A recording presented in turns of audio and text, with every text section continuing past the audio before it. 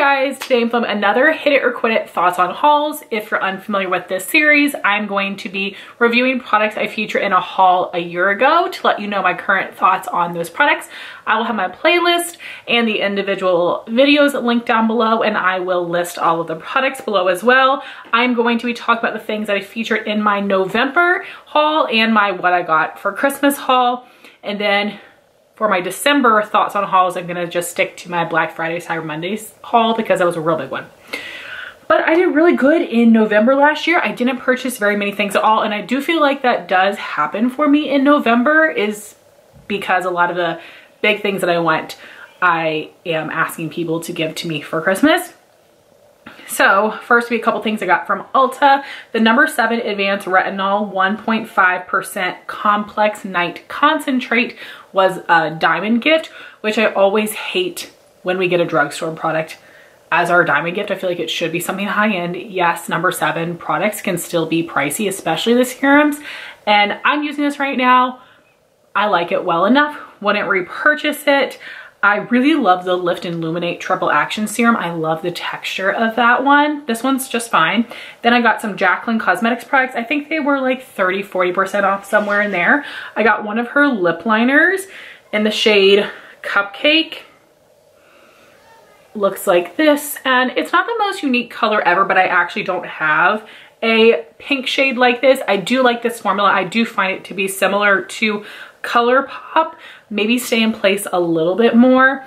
And you know the pencil doesn't fall out of the packaging so far. So I do think that this is really nice especially for 30 40% off but not necessarily a must-have. I like ColourPop lip liners just as well but I don't regret buying this and then also from Jaclyn Cosmetics, I got one of her Rouge Romance Cream Blush Sticks in the shade Swoon. I ended up returning it unused and it was just too bright of a pink for me. I do have one of these in a different shade and I do think that it's a really nice formula. I would love for her to come out with more shades, different shades, but it is a cream to powder, really easy to work with, but the color was just too bright for me.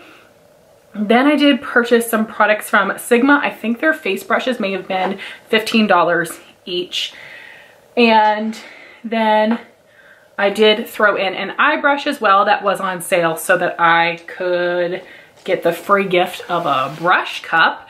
So the three face brushes that I purchased would be two backups, these are my originals, of the Sigma F05 small contour brush, and mine I've had for forever. The writing is all worn off, same as this one, the F15 Duo Fiber Blush Brush. And then I decided to pick this up just for variety sake and because I really love blush brushes and this is the F10 powder slash blush brush. Then for the eye brush, this is something I've always wanted. I feel like the bunny collection just because of the fibers performed what looked to me to be better than their other brushes. So this is the E40 Taper Blending from the Bunny collection. And then for my free brush cup, this is the travel size. I didn't realize that there was a travel size and a full size. This is travel size. They have a variety of colors you didn't get to pick, but I got the teal one. Super cute. I use these literally every day like this. I have my face brushes in one and my eye brushes in one, and I keep these on the desk in my bedroom to do my makeup for work, and I love it. To use it as a travel brush cup though, it wouldn't be great for me because when you put the containers together, it doesn't hold that many brushes, but I do think for a lot of people it would definitely be enough. I think the quality of all these products are amazing. I regret this purchase. I did not need backups of these brushes. I love them. They're not falling apart. They're still totally fine. And since then, I have gotten other brushes that are similar that I'm using a little bit more right now. So I got from Sigma the F76 Chiseled Cheek Contour Brush.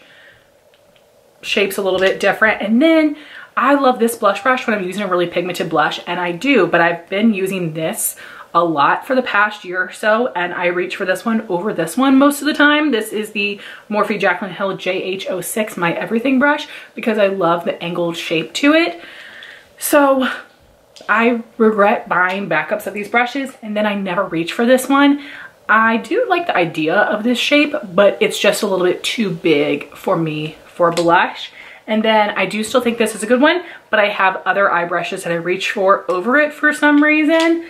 So even though everything is great quality and it was a great deal, I do regret this purchase. That was everything I got in November, not bad at all. Then on to what I got for Christmas. So many amazing goodies. I've used them all except for these. I need to use these this holiday season. These are the Auric Smoke Reflects, and this is the only thing I've gotten from Auric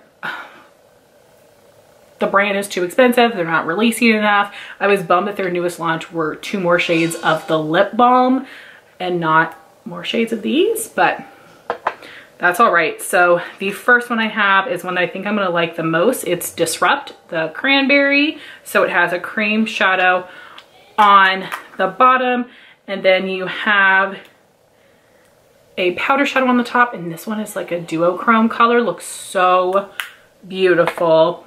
And then the other one, we'll see how they layer together. This is Entice. This is a really dark green.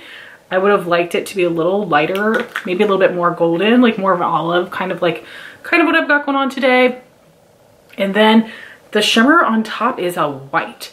And you can tell it has like a bit of a golden tone to it. So we'll see how they layer, but I, I would have liked this to be a little bit different, a little bit more olive, but this one looks perfect. So I do need to test them soon and review them for you guys. And then the next thing would be something that is like a bummer. This is the Natasha Denona Mini Metropolis palette. Also came with a little blending brush. I don't know if I've ever used it. I think that these shades here are gorgeous. These are throwaway shades to me. I don't know why they're in this palette. A matte cream color in a five pan is a waste. We can get this in a single or from so many other palettes. I do not like the color of this brown. To me, it feels too cool tone to go with these other shades. This needs to, in my opinion, be a warmer brown. And then I will love to have either a brown that's like between the two of these or a matte tealy color or a different shimmer. So I like the three of those. These two are throwaway shades. Next we have the Natasha Denona Sunset palette. I was so excited to see this half off on Sephora. This is her one of her $129 palettes, so it ended up being 65 bucks, which is so expensive. I would rather all of her palettes be either mini or midi size. I don't think we need this much eyeshadow. And I love Bronzage, but I have it in a single. It's also in mini nude. I regret this because I don't need these shades. I already have them. You can get the ColourPop Yes Please palette. It's almost exactly the same. And I have used it. I enjoyed it. The quality is great, but because of these colors, I did not need this and I just got it because it was half off and I'm a little disappointed in myself for that but I didn't spend my own money. I got it as a Christmas gift. But yeah, I, I do regret having this one a little bit as well. Next is a palette that I think is incredible. This is the Huda Beauty Rose Quartz palette. I love all of her large palettes. I have purchased all of them except for Rose Gold Remastered and the Empowered palette is just a little bit deep for me, but I love this one in the winter. I think this is so pretty and it is different than New Nude, which has a lot more pinky tones. This one is more cool, more purple.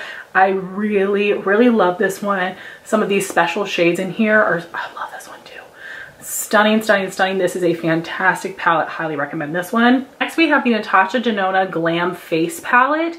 And this is the light version. And you have and you have a cream to powder blush in here, a powder highlight, and then these amazing shadows. These shimmers are different. They're really foiled looking on the eye. They are a little bit more crumbly, but I don't mind. I don't love the formula of this cream blush. It's a little too stiff for me. You really have to dig in there.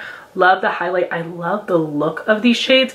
This is a fantastic palette. I'm happy to have this one. Definitely need to pull it out more. Next, I have this Pat McGrath Blush Single in Nude Venus. This is a beautiful color. Really nice formula. I am happy to have this, but I don't quite get the Pat McGrath hype. I'm, I'm pretty much there with Natasha Denona, but not quite with Pat. If her products were a little bit cheaper, I think I'd be more excited about them, but this is a good blush. However, I do really enjoy this face trio from last year. This one is Galactic Sun. It was the lighter of the two, and these are all permanent products. You have Divine Rose Blush, Desert Orchid Blush and Golden Nectar Highlight. I love this formula. I am interested in her new highlighter singles, the lightest color there. And I am bummed though that her holiday palettes for this year repeat these shades. If they were different shades, I totally would have gotten them. I think this is a much better value than just getting a single, but really nice formula and really pretty shades. Next, I have the lighter of the two Hourglass holiday palettes from last year. This is the Lighting Edit Universe. So you have one of their infinity powders, a couple blushes, a bronzer, and a highlighter. I do enjoy this one. It's very pretty colors, good quality, and I am trying my best I did it this year. I want to continue talking myself out of the Hourglass palettes. I think they're good quality, but they're so expensive and the powders themselves are very small and I don't reach for face palettes enough but I am happy that I have this one. And next I have this trio of the Lawless Forget the Filler lip glosses in Rosy Outlook, Velvet, and Daisy Pink. I love Velvet. This is such a pretty shade. Once I use this up, I would want to repurchase this. Rosy Outlook is basically a clear. Daisy Pink is not a shade that I would typically go for. So I want to use these up. I do have more shades in this formula. I do like it. It is plumping in the way that it makes your lips look very glossy, but it doesn't have a cooling or burning sensation. It's a little sticky, but not bad. So I do think that this is a nice gloss. And then the last product I have would be this Tower 28 lip gloss set. So it came with their clear shade in Chill and then this limited edition color in Chestnut. They have not since re-released this shade as an individual, unfortunately. This is from their Milky line, so it has a little bit more pigment to it, but it does have some shimmer in here. This is a gorgeous warm color that is different from cashew. It's a little bit warmer, a little deeper. I absolutely love this formula. I like this more than Lawless, but you may feel the opposite. I think my friend Jean likes these a little bit more. These are not as sticky, but they're gonna wear away a little bit faster. I love the shine, super comfortable and very, very affordable. So really happy I was able to snag that set because I love this shade but I haven't hardly used this one at all. I just don't reach for clear gloss, but I ain't mad that I got that set. So guys, I'm sorry I rushed through this. My camera is trying to die on me as well. But I would love to hear your thoughts if you've picked up any of these products. And I'm really looking forward to seeing people's Black Friday and Cyber Monday hauls from this year. I am doing a great job. I have not purchased anything. But I want to thank you guys so much for watching this video. Please like, comment, and subscribe, and I'll talk to you soon. Bye, guys.